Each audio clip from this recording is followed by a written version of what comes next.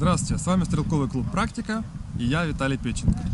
В этом видео я расскажу вам, что такое стрелковый таймер. В динамической стрельбе важен баланс между точностью и скоростью. Точность вы можете увидеть на своих мишенях, а скорость как раз засекает стрелковый таймер. Стрелковый таймер реагирует на выстрелы. И время упражнения считается по последнему выстрелу. Звучит сигнал таймера так. После этого сигнала стрелок начинает выполнять упражнение. После того, как он сделал свой крайний выстрел, оглашается время выполнения упражнения. Время, когда стрелок... Время, когда стрелок заряжается и разряжается, не учитывается. Поэтому вы можете спокойно зарядиться и спокойно разрядиться без суеты. Это все, что вы должны знать о стрелковом таймере.